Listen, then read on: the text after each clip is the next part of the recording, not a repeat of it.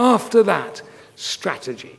And always with strategy. I mean, this is the nature of our jobs.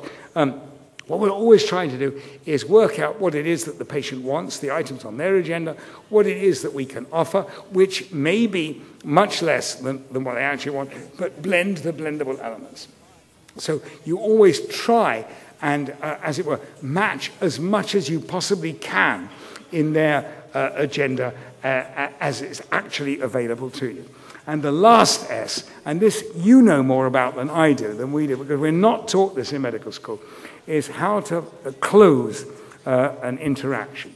You should always close um, with um, uh, basically three simple points. Um, number one, summarize what it is that you've been talking about in the last uh, three or four minutes. So you'll try this medication, you'll let your own doctor, or whatever it is, uh, summarize.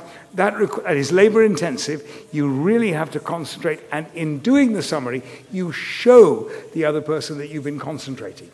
So a summary is a very good reinforcer of, of, of, of good communication techniques. So summarize in general terms, ask whether there are any other questions, even if, as is very often the case, you couldn't possibly answer those other questions at that moment.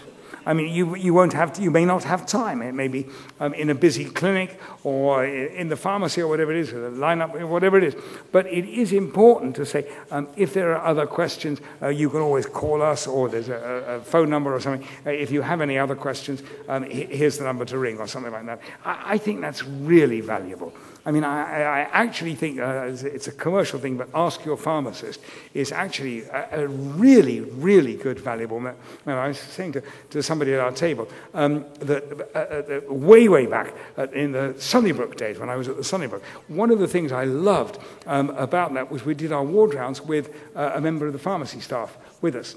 Uh, and it was actually fabulous. Um, it was really good because we could actually, very often, um, the, the, the, pharmacist knew much more um, about uh, side effects or problems or whatever it is uh, than I did. And it was actually very valuable uh, to actually do that. I, I, I actually liked that very much. We had a nursing staff. I said it was, it was, it was the Holy Trinity plus one.